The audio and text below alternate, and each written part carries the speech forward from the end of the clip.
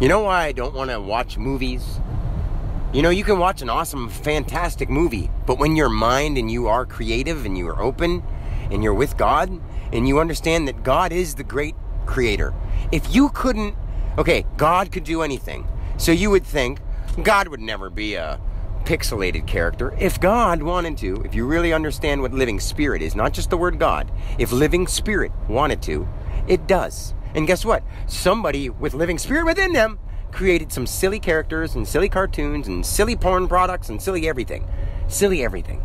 Everything is just silly if it's not helping people. It's just fucking silly. And we allow it to happen. Now think about it.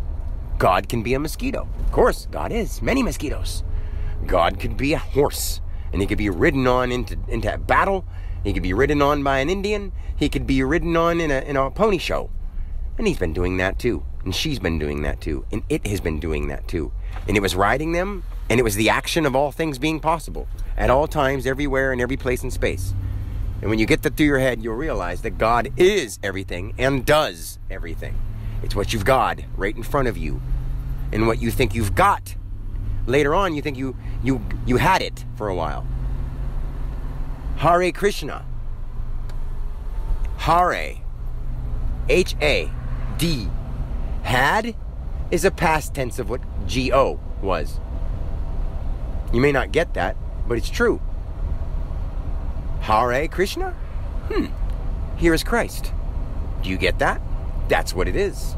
But you don't want to admit that because your people or your religion may not say it that way. Your country may not understand it like that. You have other stories you've heard. And I wrote those ones too. That's the messed up thing. Dan didn't, but I did. And I'm in Dan all the time. And I'll never let him let this go because it's true. And you people have to know it. Because if you don't, you'll always hold yourself down thinking you're your ego when that's just a vehicle. Like you ride in a car, you're riding in a body. Like you use a fork and spoon, you use your organs and your brain, but you don't take it the same degree of intensity. You use a fork and your spoon more than you even use your brain because most people just shovel food down their throats three times a day or then snack in between and chug this down and munch these chips and at that snack because they're just impulsive and they don't think about it. And if they could learn from an earlier age, it would be helpful. Because if they get to an older age, they don't want to hear that shit because they know what they should do and they don't have to be told what to do. But apparently they all do. Because they're poisoning themselves on purpose and saying, don't tell me what to do, I know what I'm doing. And they don't. If they were conscious, they wouldn't do half of it. So I'm about to pick up my son, my earth son, Xavier. He knows that he's not just that. He knows that he's living spirit too. But he doesn't conceptualize it deep enough or even understand it at all. But he's trying and his heart's open. And he's one of the saviors. You all are.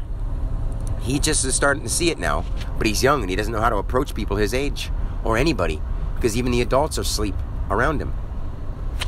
But anyway, I love you guys. Peace. I'm only trying to help.